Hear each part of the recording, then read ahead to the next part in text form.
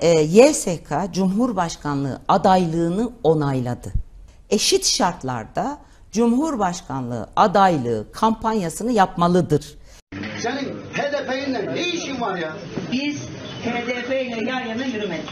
Kazanmak için terör örgütünün arkasından gitmeyin. HDP, PKK'nın uzantısı. Ben bunu bir çıkıp bağırmanızı her konuda her şeyi söylemeye hak sahibidir. İyi Parti HDP'yi nereye konumlandırıyor?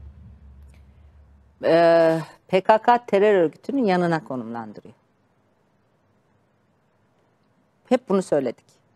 Dışarıda olsaydım bir sabah Başak ile birlikte Meral Hanım'ın kapısını çalar ve kahvaltıya geldik derdim.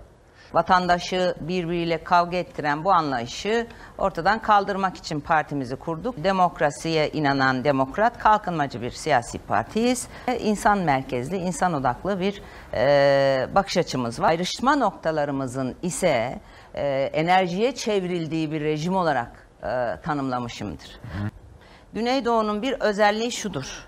Kanlın olsa kapısı çalındığı zaman o kapıdan içeri alınır. Evin annesi, en yaşlısı korur, kollar.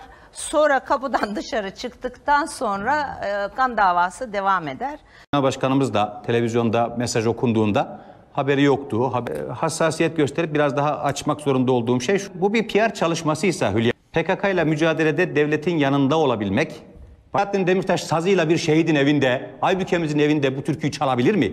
O acıya ortak olabilme iradesini gösterdiği andan itibaren memleketin bütün kahvaltı sofraları ona açılabilir. Siyasette e, hangi mesajı ne zaman vereceğiniz konusu çok hayati bir meseledir siyasal iletişim açısından.